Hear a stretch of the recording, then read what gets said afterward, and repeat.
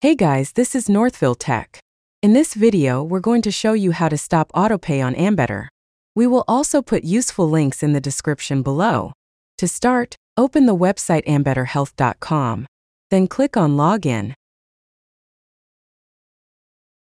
On the drop-down list, click on Member. To log in, enter your email address. Then click on Continue.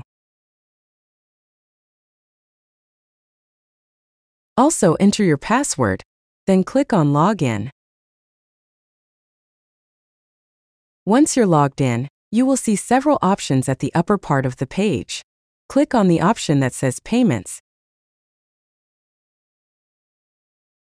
Now you'll see an option for Cancel Autopay. Click on Cancel Autopay. A pop-up window will then appear asking if you want to cancel automatic payments. To confirm, click on Yes. And now the automatic payments has been canceled. That's how you stop autopay on Ambetter. Thank you so much guys for watching. And if you have not yet subscribed to our YouTube channel, please subscribe to our YouTube channel as we create tech videos almost every day. Also, check out our website northvilletech.com for great tech articles and our recommended resources in the description below for various sign up bonuses.